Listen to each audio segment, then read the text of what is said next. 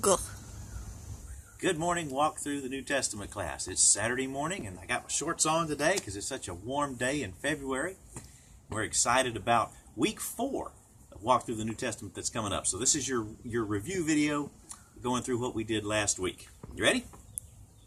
400 years, silence, Malachi, Matthew, powers, Greece, language, Israel, hopes, Rome, roads, politics, Sanhedrin, scribes, Sadducees, Pharisees, publicans, zealots.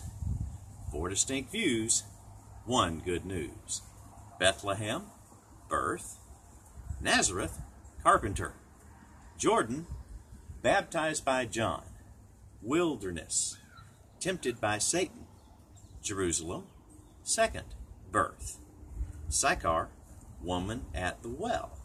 Nazareth, rejection. Capernaum, selection of the twelve, Sermon on the Mount. Power over Satan, parables start. A storm stilled, a crowd filled.